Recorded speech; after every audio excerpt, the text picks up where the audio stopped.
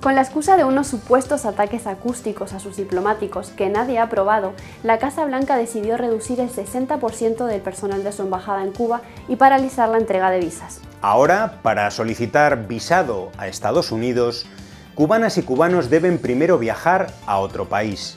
Si la visa es migratoria, deben ir a Colombia, ya que es la Embajada de Estados Unidos en Bogotá la única habilitada al efecto. Con ello, se prevé que Estados Unidos incumpla el compromiso firmado con Cuba en 1994 de otorgar al menos 20.000 visas anuales. Analistas apuntan a que Donald Trump y Marco Rubio tratan de provocar una crisis migratoria de salidas ilegales. Recordemos que en el último año el número de balseros se ha reducido en 90% desde que Obama eliminara el asilo automático a cubanos y cubanas. Esta política de castigo afecta ya a miles de familias de uno y otro lado del estrecho de la Florida, que en los últimos años viajaban y se veían con absoluta normalidad.